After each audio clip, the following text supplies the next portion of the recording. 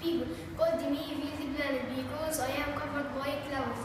I reflect maximum sunlight and I am the brightest planet.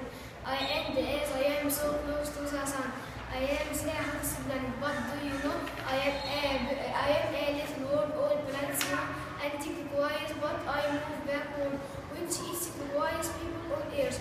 Call me morning and evening star, but I move about I like Mercury. I also have new moons.